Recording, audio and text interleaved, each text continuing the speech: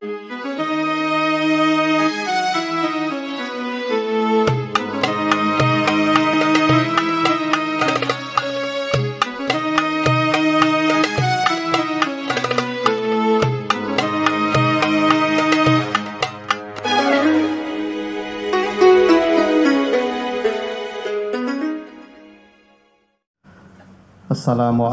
warahmatullahi wabarakatuh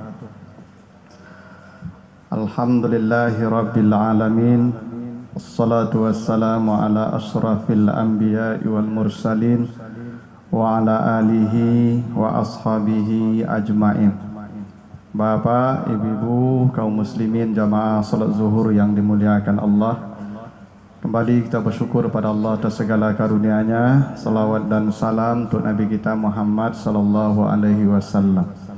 Bapak Ibu yang saya muliakan, dalam kesempatan yang pendek ini kita akan bahas surat Taha, surat yang ke-20 ayat yang ke-130. Kita baca ayatnya, A'udzubillahi minasyaitonirrajim. Fasbir ala ma yakulun wasabbih bihamdi rabbika qabla tulu'i syamsi wa qabla ghurubiha wa min ana'il laili fasabbih wa atrafan nahari la'allaka tarda.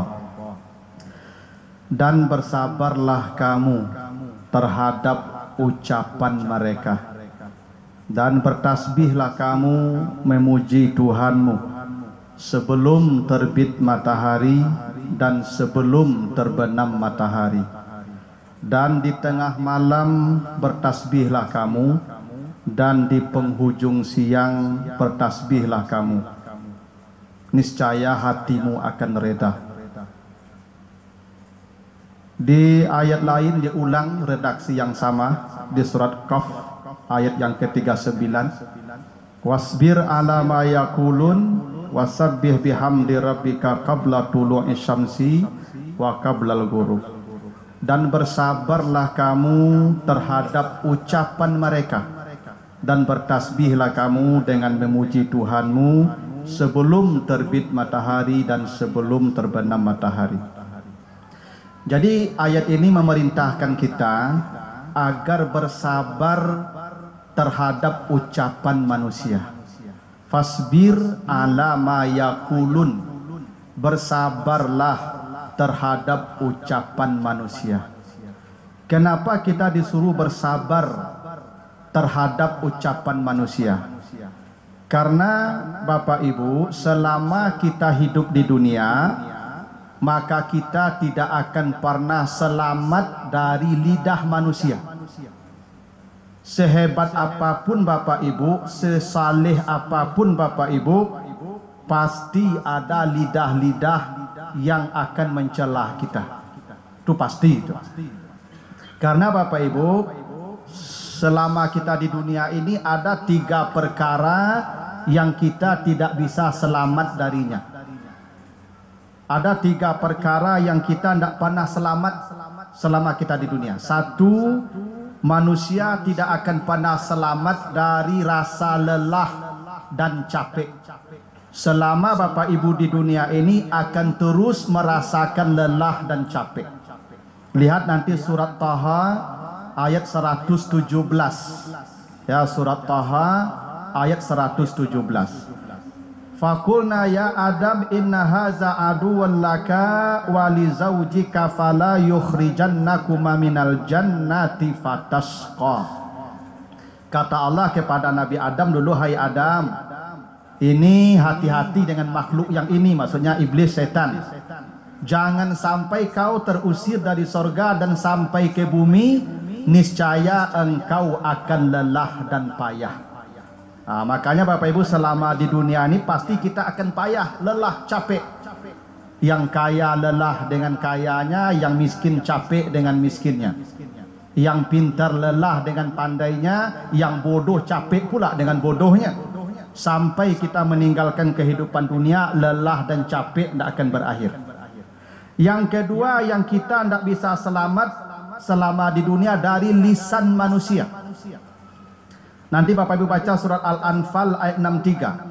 lau anfaqta ma fil ardi jami'an ma allafta baina qulubihim andai engkau menginfakkan seluruh isi dunia untuk menyenangkan hati manusia niscaya pasti ada juga hati-hati yang dengki dan benci kepadamu sehebat apa pun Bapak Ibu sebaik apa pun Bapak Ibu kepada manusia akan tetap ada orang yang hatinya benci dengan kita.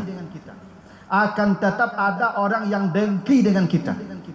Dan buah dari kebencian dan kedengkian itu lidahnya akan mencela kita. Selama kita hidup di dunia, mustahil kita selamat dari lidah-lidah yang mencela kita. Dan yang ketiga yang kita tidak bisa selamat itu dari kematian. Nanti baca surah Al-Jum'ah ayat yang ke-8. Kul innal mautal ladzi tafirruna minhu fa innahu mulakikum. Betapapun hebatnya usahamu lari dari kematian, kematian pasti menemukanmu. Ini tiga perkara yang kita tidak akan selamat selama di dunia. Karena itulah sorga dinamakan Allah dengan Darussalam kampung keselamatan. Nanti baca di surat Al-An'am 127. Lahum darus salam inda rabbihim. Kalau mereka sudah masuk sorga, barulah mereka sampai di kampung keselamatan. Kenapa sorga disebut Darussalam, kampung keselamatan? Karena di sorga lah manusia selamat dari yang tiga tadi. Pertama di sorga manusia tidak akan merasa lelah dan capek lagi. Nanti baca surat Fatir ayat 35. Allazi ahallana daral muqama min fadlih la yamassuna fiha nasabun wa la yamassuna fiha lughub. Kalau manusia sudah masuk sorga kata Allah, mereka tidak akan dirasa merasakan capek dan lelah lagi. Itu kenapa di sorga tidak ada tidur. Inna ashabal jannatil yauma fi sugulim fakihun. Tuh di surat Yasin ayat 55. Di sorga manusia ndak ada tidur. Nah, jadi di sorga tuh kita ngobrol, makan, minum, tertawa, senang-senang. Kenapa? Karena tidur ndak ada. Kenapa ndak ada tidur? Ndak ada capek lagi. Nyo lalu kau ndak latih. Kau ibu serang dengan ceramah tak kalau tuh ndak latih itu. Tandu orang latih tak kalau ibu. Ah di sorga tidak ada capek lagi. Ah itu kenapa disebut Darussalam. Yang kedua di sorga tidak ada lagi manusia yang mencela kita. Tidak ada lagi mulut-mulut yang menyakiti perasaan kita. Lihat nanti surat Yunus ayat 10. Dakwahum fiha subhanakallahumma wa tahiyyatuhum fiha salam wa akhiru dakwahum alhamdulillahi rabbil alamin. Di sorga itu manusia ucapannya salam, salam, salam, salam, salam, salam. Jadi orang di sorga itu tidak ada bantah-bantahan Bapak Ibu. Tidak ada orang bertengkar. Kata Allah di surah Al-Hijr 47, "Wa nazakna ma fi sudurihim min ghillin ikhwanan." Di sorga itu manusia akur, bicaranya sama. Jadi di sorga itu nanti manusia seperti upin dan ipin. Kalau cie mengecek, kecek dan cie, betul, betul, betul. Ah, tuh di surga begitu tuh Pak. Nah kalau di dunia banyak lidah-lidah yang akan menyakiti kita. Tuh kata Allah begitu tuh. Nah di sorga juga manusia baru selamat dari kematian karena tidak ada mati lagi. Lihat nanti surat Qaf ayat 34. Udkhuluha bisalamin zalika yaumul khulud.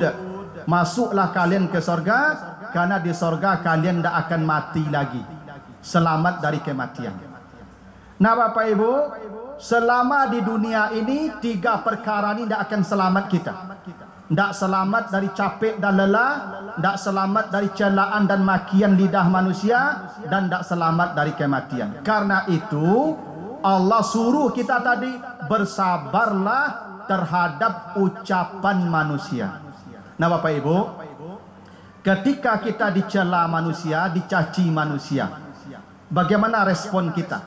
Bagaimana sikap kita yang diajarkan Al-Quran? Kalau ada lidah-lidah yang selalu mencela, mencaci dan memaki kita. Ada beberapa hal yang bisa kita lakukan. Pertama, balas caciannya setimpal. Ini disebutkan di surah An-Nahl ayat 126. Kata Allah wa in aqabtum fa'aqibu bimisli ma uqibtum. Kalau engkau dicaci orang, caci pula dia seperti kata yang dia ucapkan. Boleh? Boleh. Kalau bapak ibu ditampar orang, tampar pula dia sekeras dia menampar. Boleh? Boleh. Tu di An-Nahl tu ayat 126. Dia kalau apa dikecen orang, "Woi, baru ah sabui lo baru." Tidak boleh tambah yo kadang lo, baru kadang tu tak boleh tu. Jadi kalau baru baru lo sabui. Ah boleh Ustaz, ah, boleh. Tu Al-Quran sebut.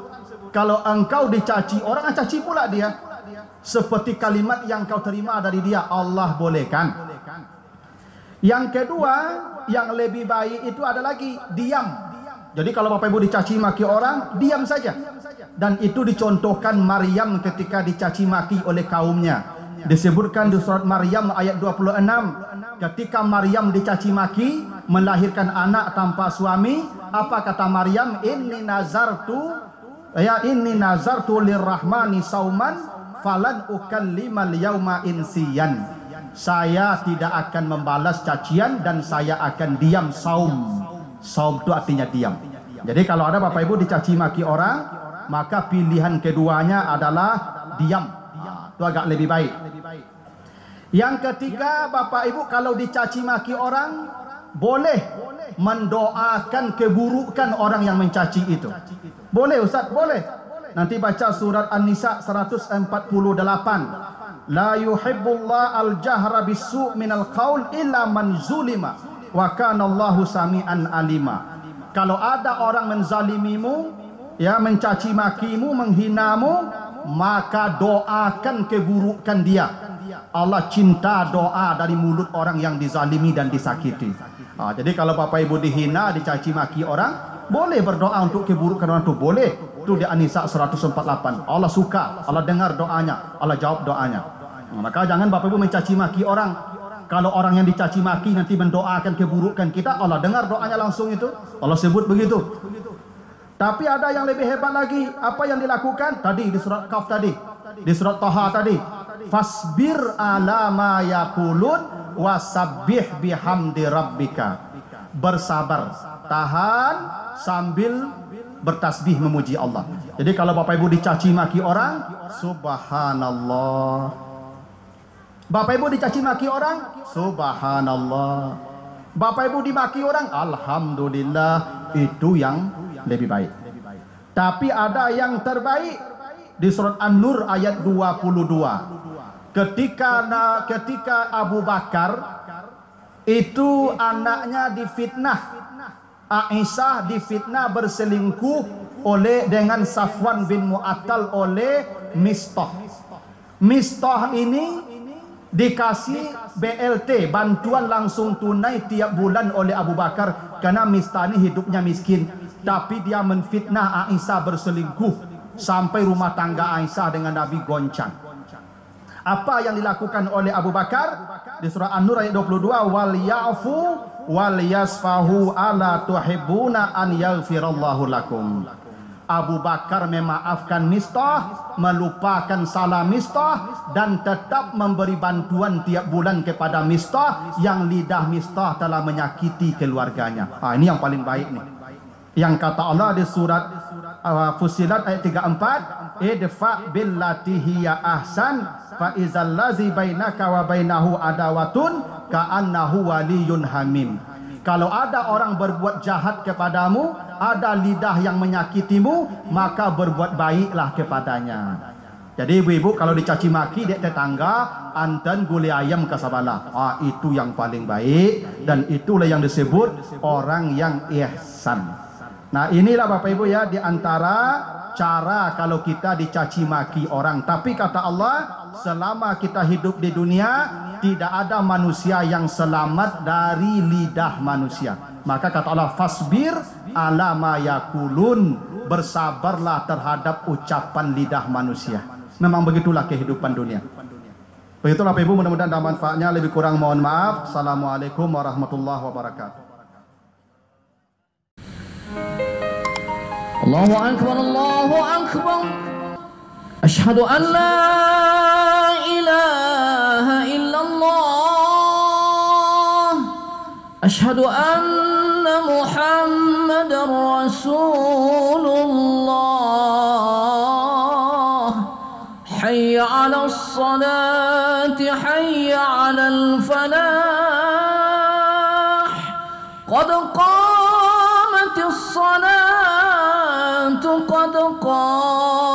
الصلاة.